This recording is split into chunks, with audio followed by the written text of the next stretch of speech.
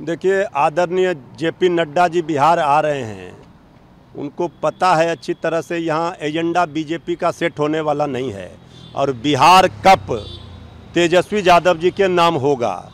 ये जितना भी योजना का आज उद्घाटन करेंगे, ये तेजस्वी यादव जी के सत्रह महीने के शासनकाल में जब तेजस्वी जी स्वास्थ्य मंत्री थे, उसी समय इस योजना को स्वीकृत कराया था श्री तेजस्वी यादव जी ने। तब आ रहे हैं अब तो आ करके ये तो बताना होगा कि बिहार को क्या दिया। बिहार को विशेष राज्य का दर्जा क्यों नहीं दिया? बिहार को पैसे, विशेष पैकेज क्यों नहीं दिया? सेंट्रल यूनिवर्सिटी, पटना यूनिवर्सिटी को क्यों नहीं बनाया? ये न बताएँ। ये सब उसी योजना को रिपैकेजिंग करके आ रहे हैं। अब चुनाव के लिए एजेंडा सेट करने आ रहे हैं। तो इससे कोई फ़र्क पड़ने वाला नहीं है। बिहार की जनता है तैयार। बनाएगी तेजस्वी सरकार।